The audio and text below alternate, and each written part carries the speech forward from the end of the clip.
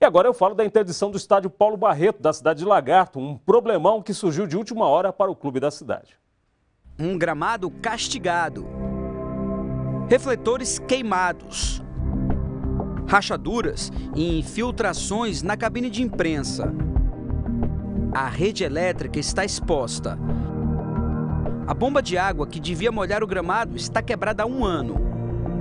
Esse é o retrato de um dos principais campos do futebol sergipano. Que o Paulo Barreto precisa de uma reforma, isso não é novidade para ninguém.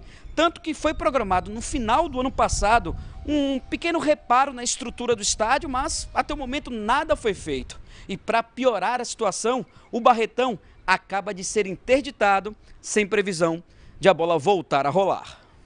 O secretário Adilson Ramos, que é o secretário de esporte, me chamou na sua secretaria para informar oficialmente de que a gente deveria encontrar uma outra praça de esporte e sugeriu o campo da cidade de Simão Dias. Imediatamente eu convoquei uma extraordinária da diretoria do Lagarto, discutimos a questão e o próprio governo pediu que a gente encaminhasse uma proposta, quem sabe até de ajuda para o governo tentar ajudar o Lagarto Futebol Clube nessas despesas que foram criadas com essa não disponibilidade do Estado para Barreto Menezes. Ruim também para jogadores e comissão técnica, que precisam peregrinar atrás de um campo para trabalhar às vésperas do início do campeonato. Começamos na ABB, que é um campo site.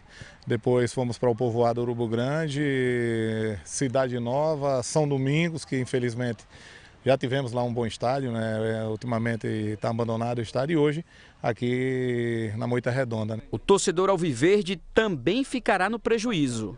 Aqui em Lagarto, o torcedor ia, o Lagarto em boa fase, ele ia acompanhar o time apoiar o Lagarto. E lá, mesmo o Lagarto em boa fase, nem, nem todos têm condições de ir para a cidade vizinha, caso possa ser Simão Dias, para assistir o jogo do Lagarto. Fica meio difícil a situação.